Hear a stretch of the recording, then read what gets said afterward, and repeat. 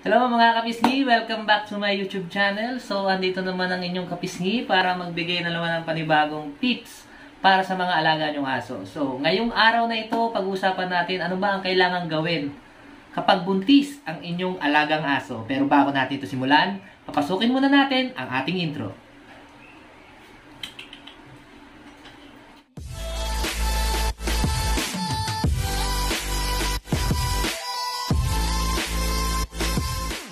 So, mga kapisngi, simulan natin yung mga bawal at hindi bawal para sa inyong mga buntis na aso. Unahin na natin yung mga bawal. So, number one dyan, kung nasanay kayo na inilalabas nyo yung inyong aso, uh, namamasyal kayo, andyan yung nag, nag-walking kayo kasama ang inyong mga aso, siguro uh, wag na muna natin gawin yan kasi makakasama sa kanila yan. Unang-una, bawal na silang ma-stress. Lalo na kapag mainit. Pwede kasing ma-heat stroke ang inyong mga alagang aso, especially kung sila'y buntis, eh hindi po talaga ito makatutulong para sa aso nyo. Isa pa sa mga bawal gawin para sa inyong buntis na aso, mga kapisngi, eh yung paiinumin nyo siya ng kung ano-anong gamot na hindi naman resetado ng inyong vet. Okay? Meron kasi mga gamot dyan na nabibili. May mga, alam nyo na, meron kasi kanya-kanya diskarte ang mga breeder sa pagpapainom ng gamot o vitamins sa mga aso nilang buntis. Pero sa mas magandang paraan, maganda yung inire-reseta ng uh, inyong vet, yung ipaiinom yung gamot, vitamins man yan o para o mga papi uh, vitamins para sa tiyan ng inyong aso, eh mas mahalagang rekomendado po at uh, may reseta po ng inyong vet. Tapos yung iba mga kapisngi, pinaiinom pa ng calcium mga aso nilang buntis. Siguro hindi na rin dapat natin itong ipainom kasi unang-una, may mga vitamins naman tayong pinaiinom para sa ating mga aso. Eh yun ay meron ng halong supple uh, may mga supplement na may ma para sa calcium na yun. So we don't need na painumin pa ng separate na calcium na palakas or uh, may halong calcium yung mga vitamins na ibibigay nyo sa inyong mga buntis na aso. Kasi yung mga ibang vitamins naman na hindi ko nababanggitin, eh may kasama ng calcium yun. So, uh, pwede na tayo mag-stick doon sa gamot na yun. Tsaka po yung pagpapainom nyo ng mga kung ano-anong gamot. Uh, halimbawa po eh mga may mga gamot para sa mga kuto. Yan, yung mga ganyan. Uh, may mga injection na kinakabit. Hanggat maari po ang buntis nyong aso. Bago nyo uh, ipa-stud ang inyong aso, uh, mas mahalagang napabakunahan nyo na siya. Kasi bawal na po sa mga aso natin buntis ang pabakunahan. At uh, painumin ng anong uh, kung ano o gamitan ng anong anumang mga uri ng gamot, halimbawa mga gamot para sa kuto, kasi makakasama na po yun para sa kanilang kalusugan. Kaya bawal na bawal yun mga kapisngi, no? yung paiinumin nyo pa sila o gagamitan ng anumang gamot, lalo na kung buntis sila. Kasi lalo na pag nasa dement, uh, developmental uh, stage pa yung mga papi sa loob ng tiyan ng uh, inyong uh, buntis na aso, pwede kasing makaapekto ito at magkaroon ng mga depekto uh, maapektuhan dito yung mga tuta na lalabas sa inyong aso.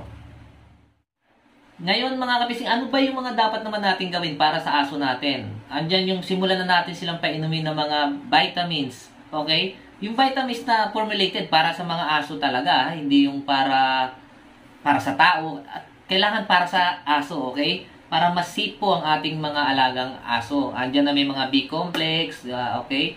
May mga protein, ayan Importante po yan sa mga buntis nyong aso.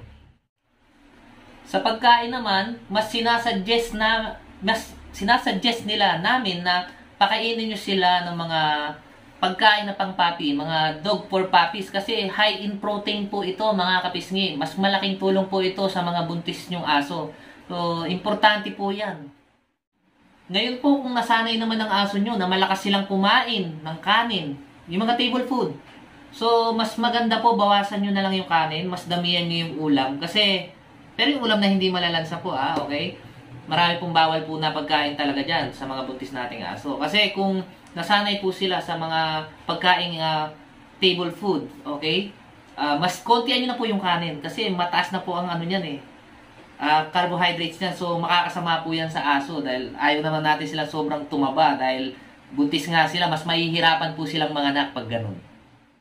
Pagdating naman po ng uh, mga 45 days na nabuntis ang inyong aso, andyan po yung siyempre dahan-dahan na nating dadagdagan yung kanyang kinakain. Kasi hindi lang po yung mommy dog ang nangangailangan ng pagkain kasi may kahati na siya. Andiyan yung mga puppies sa loob ng kanyang tiyan na sumasalo sa bawat kakainin ng mother dog. So, importante po yan. Pero wag naman sobra-sobra. Siyempre, ma, mga kapisngi, hindi, lahat ng sobra is uh, hindi nakakabuti. Pero ang sinasabi ko lang dito, eh, medyo mas tataasan natin o dadagdagan natin ng konti dahil nga meron na siyang uh, kahati sa mga kinakain niya. Sa proper hygiene naman mga kapisngi kasi ang nakasanayan sabi nila bawal paliguan ng aso kapag buntis, baka makunan. Uh, sa totoo lang po, ang nakaka-madalas na dahilan kung bakit nakukunan ng isang asong buntis eh yung stress. Yan po yung naiiwasan natin na may stress sila, lalo na yung palagi silang galit or meron silang tahol sila ng tahol gaya nitong tumatahol sa labas.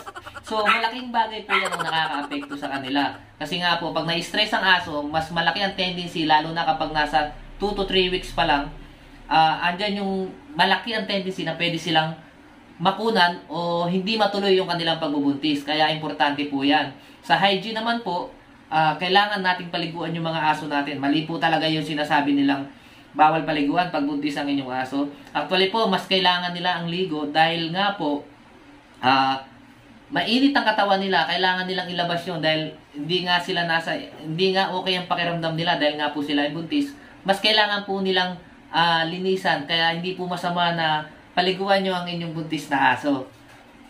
At syempre, ang panghuli, ay kung meron naman po tayong budget, total worth naman na mas magandang ipakonsulta nyo rin siya o magkaroon sila ng mga uh, check-up sa inyong uh, soaking vet o sa mga veterinaryo na umahawak po talaga o kakilala nyo sa inyong mga aso kasi napaka-importante po niyan na na-check up po ang buntis nyong aso para namomonitor nila at uh, nalalaman kung anong lagay ng inyong aso.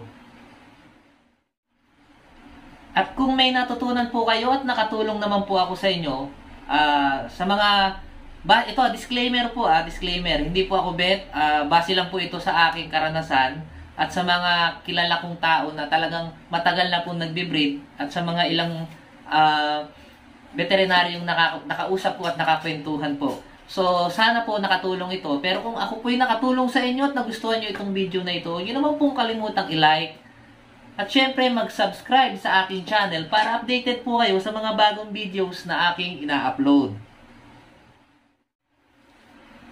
Kaya bago po natin tapusin itong video na ito, ang laging paalala sa inyo ng inyong kabisngi na tayo ay laging stay safe, God bless, and peace!